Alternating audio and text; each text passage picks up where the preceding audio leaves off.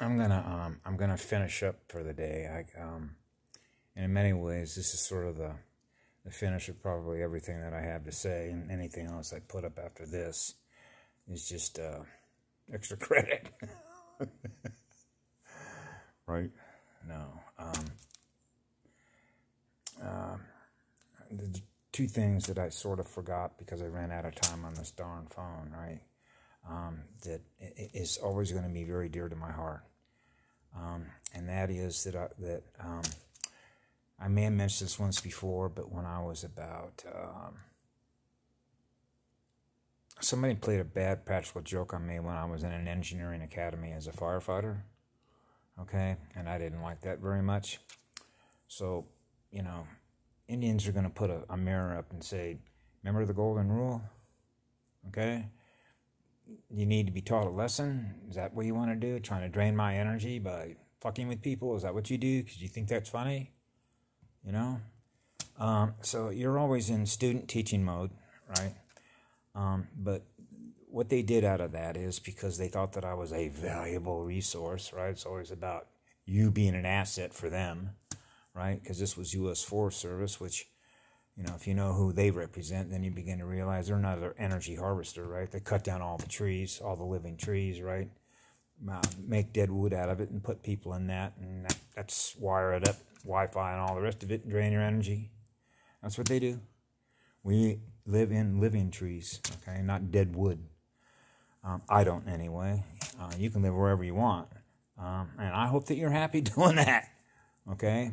And that really is the point, okay, about what it means to restore and what it means to experience the real universe. Because when I was a small child, okay, um, two things I noticed about myself, and this is what they noticed about me when they did a complete psychological and physical evaluation on me to get a report and say, what's going on with this guy? Okay, so I was in a hospital for about six days, fully paid for by the U.S. Forest Service. They did a complete physical and emotional evaluation on me. And um, what came out of that was uh, I got a copy of what's called Your Eyes, Your Eyes Only. They said uh, Robert has a significant amount of underlying rage. However, he's able to keep his emotions under strict control, which is non reactive. Okay? So where does all the rage come from? So I have to dump anger all the time. Okay. And why do you think that is?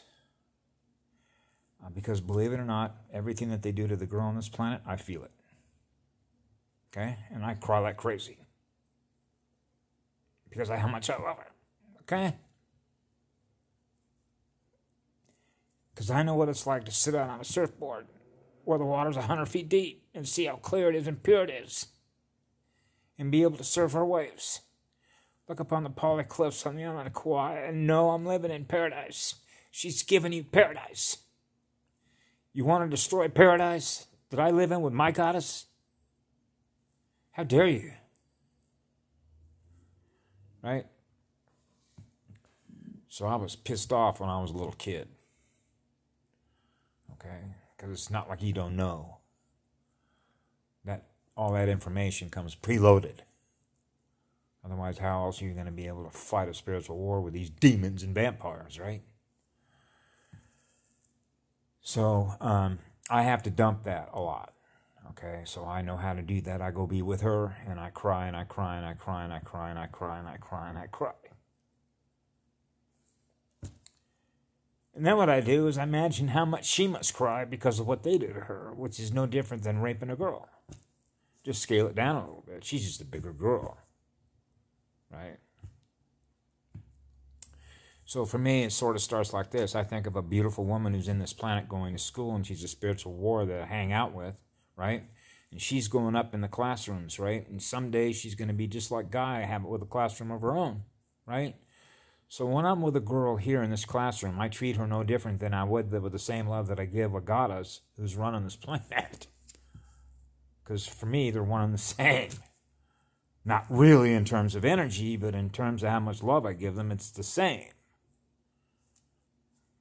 Which is all my fire, all my light, right? Because that's the universe you want to live in with that much fire, which is that much passion, that much compassion, and that much empathy that you have for everything that we give love to, that we create with infinite imagination, right? Okay.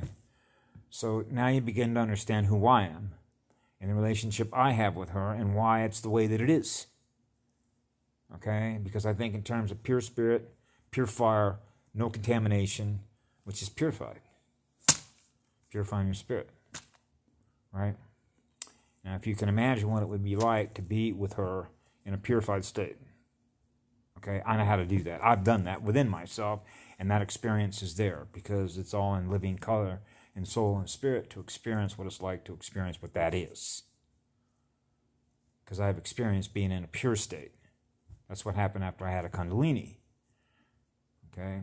Which is why, after that, because they were hammering the place with nanotech, I, I just went and says, I'm done. You know, I'm going to go hang out with some big, powerful volcanic energy, even though, as Patty told me, that's a Draco stronghold, and there is a lot of dark energy on that island, and I'm hoping that it, a lot of it has been cleared off. Which is why I I thought that uh, I would finally end up over on the North Shore of Kauai because that's where the biggest love pipe I've ever felt since I've been here on this timeline is. Now, having said all that, um, when it comes, I didn't get a chance to finish making peace with Mother Earth, and this is really true and that is the true nature of a healer, or if you will, you're measuring where you are in the cosmos, and and that's this. And I thought to myself when I was a kid, I'm not supposed to be experiencing this. I'm not supposed to experience lower energy than what I am, no matter where I go.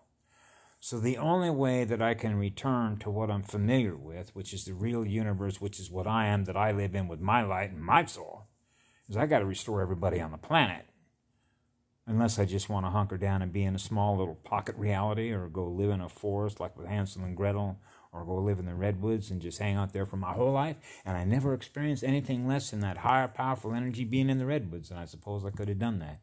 Anybody can go do that. And then I wouldn't be aware of everything else that everybody's going through. Right? But that's not my timeline. That's not how that worked out. So the point is, is that if we're going to be in compliance with love is the law, because love is the law on this planet, right? And it be- begins with Sophia, okay?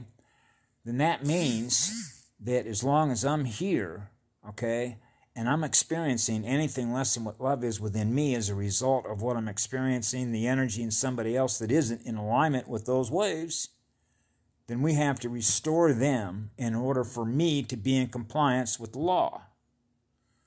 And I'm not a lawbreaker. Not when it comes to love is the law. Okay? That's what it means to have honor. That's what it means to honor the matriarch. That's what it means to honor the mother in this planet. Okay? Because look at look look at everything that she gives everybody. That's what hurt me the most.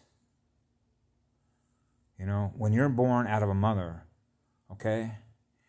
You have how can anybody not know that had it not been for the unconditional love that your mother was giving you, you wouldn't have survived childbirth? And you certainly would not have been able to feed yourself after you come out of her womb. She's got to take care of you.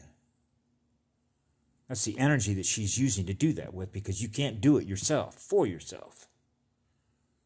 So when you turn around and you decide that you now want to beat your mother up and rape and pillage her, Something's certainly wrong with that picture, isn't it? Why would anybody want to do that to their own mother? Because the mother that is in this planet is giving you everything for free. Everything.